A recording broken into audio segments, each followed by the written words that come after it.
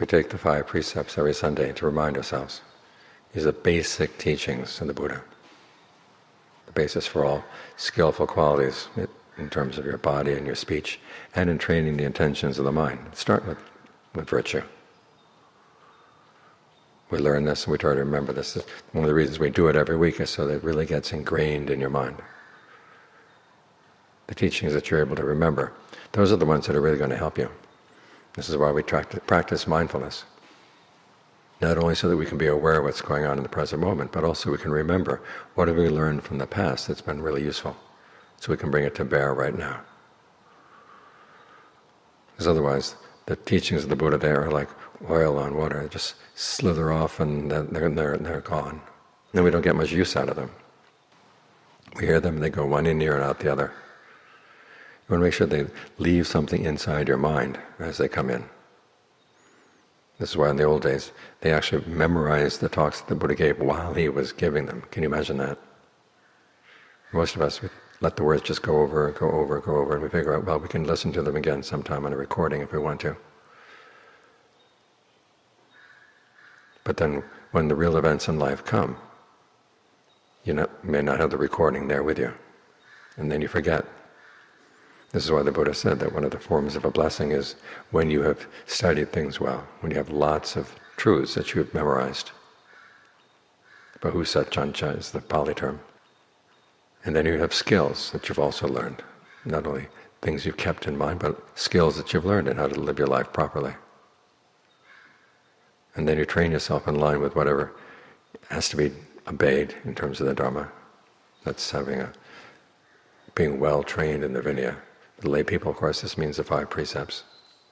And you really take them seriously, you hold on to them. And you try to remember them every day, every day. And then you add on to that knowledge as best you can. Because we fill our minds with so much garbage, especially now that we have phones that we can carry around with us, iPads we can carry around, you have screens with you that are talking at you all the time. You have hardly any time to think for yourself and to figure out, well, what's worth holding on to. We figure out if I need some information, all I have to do is press on the screen and the information comes up. And so our memory gets deteriorated. Think about it, in the old days they used to be able to memorize the whole Pali Canon. People developed their memory to that extent, which meant they would have what they needed at their fingertips in terms of knowledge for how to deal with problems at home, problems in, in work, problems in, in your meditation. So it's good to have a fund of knowledge and then try to live by it. That way your knowledge becomes a blessing to you.